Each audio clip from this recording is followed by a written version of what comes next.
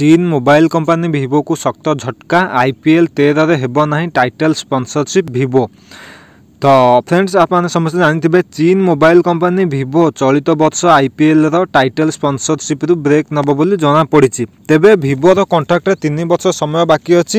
ତେଣୁ ଏହି କମ୍ପାନୀ ଦୁଇହଜାର ଏକୋଇଶ ଏବଂ ଦୁଇହଜାର ବାଇଶ ଦୁଇହଜାର ତେଇଶ ଆଇପିଏଲ୍ରେ ଜଡ଼ିତ ରହିବ ବୋଲି କଣ୍ଟାକ୍ଟ ହେଇଥିଲା କିନ୍ତୁ ଆଇପିଏଲ୍ ଚଳିତ ସିଜନରେ ଏକ ନୂଆ ଷ୍ଟାଇଲୋନ୍ ସ୍ପନ୍ସରସିପ୍ ରହିବ। ଅତି ଶୀଘ୍ର ଏହାର ଆନାଉନ୍ସମେଣ୍ଟ ମଧ୍ୟ କରାଯିବ। ତ ଭାରତ ଏବଂ ଚୀନ ମଧ୍ୟରେ ଦେଖାଦେଇଥିବା ସୀମା ବିବାଦର ପ୍ରଭାବ ଆଇପିଏଲ୍ ଉପରେ ମଧ୍ୟ ପଡ଼ିଛି। ତେବେ ଭାରତରେ ଚୀନ ସାମଗ୍ରୀକୁ କଡ଼ା ବିରୋଧ ମଧ୍ୟ କରାଯାଉଛି ଏକଥା ଆପଣମାନେ ସମସ୍ତେ ଜାଣିଥିବେ। ସେଥିପାଇଁ ଭିଭୋ ବି ଏକ ଚାଇନା କମ୍ପାନୀ ସେଥିପାଇଁ ଭିଭୋକୁ ମଧ୍ୟ ବାଦ କରିଦିଆଯାଇଛି ଗଲୱାନ ଘାଟିରେ ଭାରତ ଏବଂ ଚୀନ ସୈନ୍ୟଙ୍କ ମଧ୍ୟରେ ସଂଘର୍ଷ ତ ଆପଣମାନେ ସମସ୍ତେ ଜାଣିଥିବେ।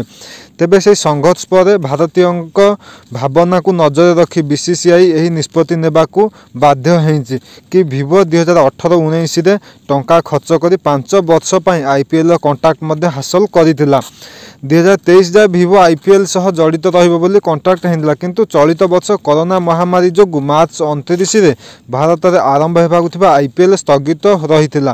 ଶେଷରେ ଟି ଟ୍ୱେଣ୍ଟି ବିଶ୍ୱକପ୍କୁ ମଧ୍ୟ ସ୍ଥଗିତ ରଖିଥିଲା ବିସିସିଆଇ ଏବଂ ୟୁଏରେ ଏହାକୁ ଆୟୋଜନ କରିବା ପାଇଁ ନିଷ୍ପତ୍ତି ମଧ୍ୟ ନେଇଥିଲେ।